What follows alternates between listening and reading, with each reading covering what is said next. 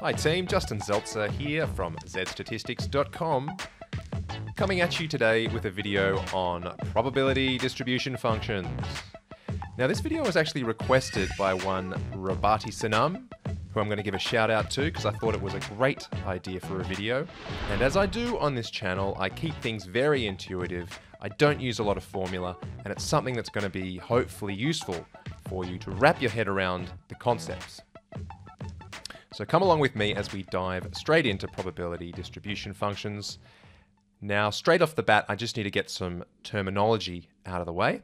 Hopefully, if you're watching this video, you're familiar with the concept of discrete and continuous variables.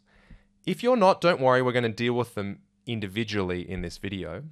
But for discrete variables, they have this thing called a probability mass function, which is just a simple way of saying the probability of each discrete outcome. Now that's given the three letter acronym PMF that you might see around the place. And this compares to the PDF, or probability density function, which we use for continuous variables. But again, it's just like the probability of particular outcomes on a continuous distribution. But it's slightly different, so we're going to call it the probability density, and we'll see why that is a little bit later. Now be careful about PDF because I've called this whole video probability distribution functions. Now some people might call probability distribution functions which relate to all of these together as PDFs, which does get a bit confusing, doesn't it? But I use PDF to mean the probability density function, which relates solely to continuous variables.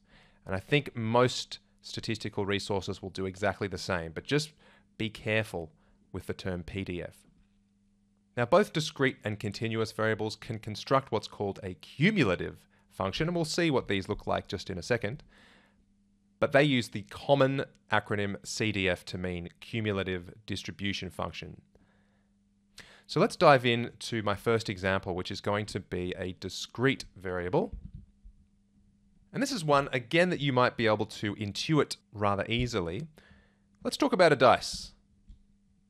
Now, one dice has six possible outcomes, and each of those possible outcomes has the probability of one sixth. And we would call this distribution, we'd call this the probability mass function, just like we described on the previous slide. It's a discrete variable because it can only have outcomes 1, 2, 3, 4, 5, and 6. You can't roll a 2.5 or a 4.13. So this is a variable with discrete outcomes. In other words, a discrete variable. Now, I've written one sixth here because we know there's six equally possible outcomes. But I might just use decimals here because it's going to help us a little bit later. So hopefully you're okay with me putting this at around 0.167 or so, which of course just represents one sixth. Now what we can do is we can construct the cumulative probability. Not just the probability, but the cumulative probability. But what does the word cumulative actually mean? Well, you can see that on this side we go from 0 to 1. So the scale is actually a little bit different to the scale on our original probability diagram over here.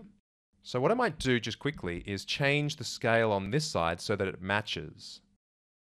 So if we're looking at the cumulative probability diagram, let's just pick one of them and let's just say we're looking at the height of the cumulative probability for outcome 4. Now what the height of this represents is not the probability of rolling a 4, it's actually the probability of rolling a 4 or less. And the way we can describe that is by saying the probability of x being less than or equal to 4. So in other words, we have to sum up the probability of rolling a 1 plus the probability of rolling a 2 plus the probability of rolling a 3 and also 4. So what's essentially happening here is we're summing up all of the areas of 1, 2, 3, and 4 on this side. You can see if you kind of stack these little bars together, you'll get the height at 4. So quite clearly then, one of the properties of a cumulative distribution function is that the final bar needs to be 1. It needs to get to 1 by the end. Because don't forget the probability of getting a 6 or less when you're rolling a dice has to be 100%, right? You can't roll a 7 on any dice I've seen. Okay, so I might just put this scale back to the original scale so we can have a little bit more ease at distinguishing things. But what I wanted to do is just muck with this a little bit so it's no longer just a perfect uniform distribution like it is here. So let's pretend now that the dice is rigged such that it can't roll threes or fours. In other words, the probability of rolling a 1, 2, 5 or 6 is 0.25, is 25% for each of those possible outcomes. Which sounds a bit silly, but I used to use a dice rolling app on my mobile. And I actually found out that the algorithm they were using was underrepresenting threes and fours in it. And boy, did I write a sternly worded review on the iTunes store. But that's another story. What I want to look at here is how this represents changes now in the cumulative probability. So you can see that we actually get a nice flat gradient around 3 and 4 here because there is no 3 and 4 in the PMF. So the probability of getting 4 or less is kind of going to be the same as the probability of getting 2 or less. In fact, it's going to be exactly the same because there is no probability of 3 and 4 individually, right? So you can see that flatness here on the CDF indicates that there is no mass, if you want to call it that, in our probability mass function, around 3 and 4. So that's going to come back to us when we start looking at continuous distributions. So we've pretty much dealt with the top half of this little flow diagram. And in this next section, we're going to have a look at continuous distributions. So let's jump straight into that and see how it differs. So my continuous distribution I'm going to use is the height of women. It's a classic example that everyone can kind of visualize, so it makes it pretty simple. And I've got my good friend Penny over here, who's telling us that indeed female heights might be distributed with a mean of 165. Let's say that's 165 centimeters is our mean. And it has some kind of standard deviation such that by about 140 centimeters, you're not getting too many women of that height nor are you getting too many women up at 190 centimeters either. It's a completely theoretical distribution, but just one that I think is quite simple. Now, I'm hoping that you realize here that height is not a discrete distribution. In fact, it's a continuous distribution because you can be 165.387 centimeters or 165.387684, etc., right? So it's a continuous variable. So we call the distribution here, the probability distribution, we call it a PDF, a probability density function. And if you're a little bit ahead of me, you might have a look at the probability on this side, which says 0.01, 0.02, 0.03, etc. And you might be asking, what do these numbers actually mean? What does it mean that this probability density at 165 at the mean is about 0.04. What does that mean? Is there a 4% chance of being 165 centimeters tall? Well, not quite. It's almost that. But we'll have a look at that in just a second, so hold that thought. But for the moment, let's just appreciate this nice bell curve shape, which we can call the probability density function.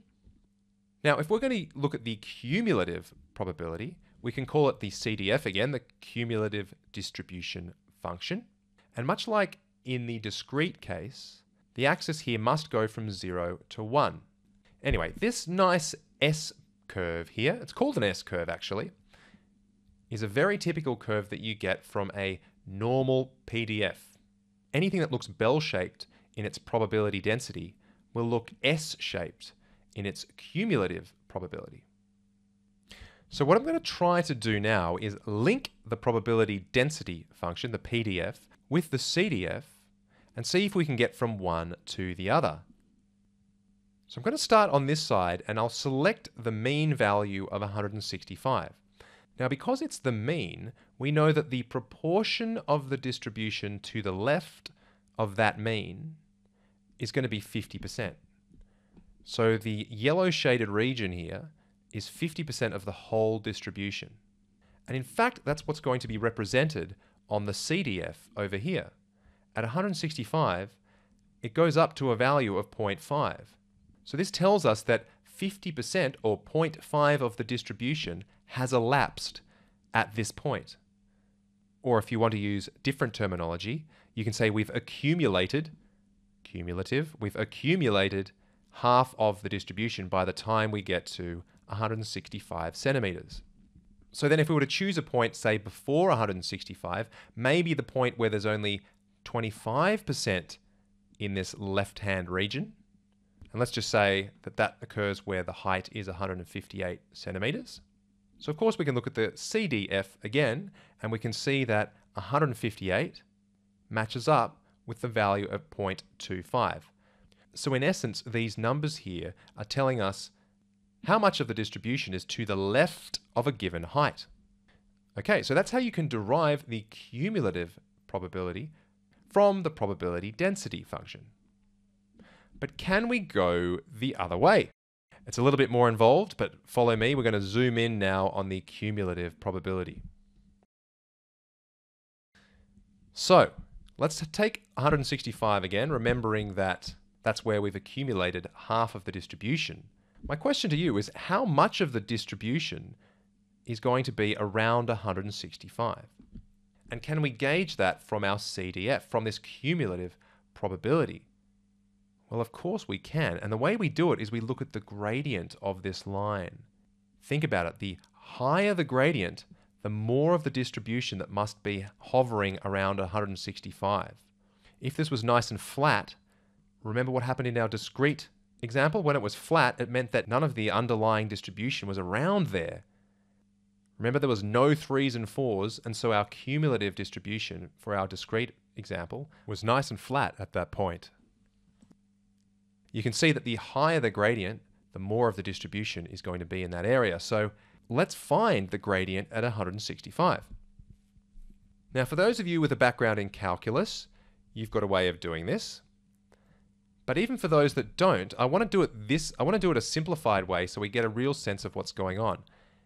And if you go back to your year 9, year 10 mathematics, we know how to find a gradient and all we need to do is construct a sort of little interval here around 165 and we're going to pick two points that are very close to 165 and let's choose 164 and 166. So if you go down just one centimeter here to 164 or up one centimeter to 166, you're going to get these two points here. And we know how to find a gradient between two points. It's the rise over the run. And you can see that the rise here is about 0.08. And these values have just been calculated using Excel, because Excel has lots, a bunch of statistical functions. So I just found those out using Excel. And the run is going to be 2. So if you did this calculation, you get 0.04. So that's the approximate gradient at 165. And have a look at the PDF, you can see that it goes to 0.04.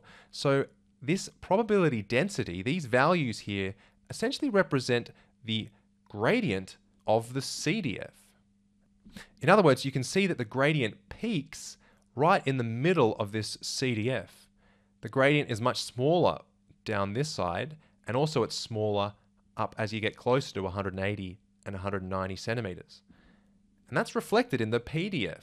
You can see that we have this crest at 165 centimeters, the crest tells us that the gradient is maximized at 165. So there you go.